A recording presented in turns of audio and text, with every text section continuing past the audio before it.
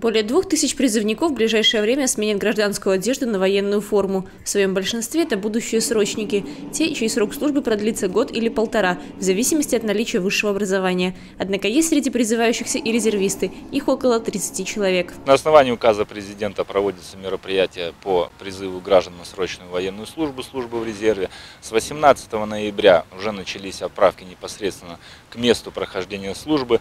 С Брестской области планируется направить порядка двух с половиной тысяч э, призывников на срочную военную службу и порядка 30 призывников на службу в резерве. Нести службу молодые берестицы будут в воинских частях специального назначения и сухопутных войсках. Перед отправкой юноши проходят очередное медицинское свидетельствование, после чего поступают в распоряжение будущих командиров. Поступаю на военную службу в Марину Горку, военная часть 89-417.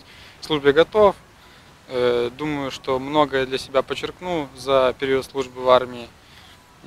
Служить хочу, думаю, сослуживцы будут хорошие, служба пройдет легко.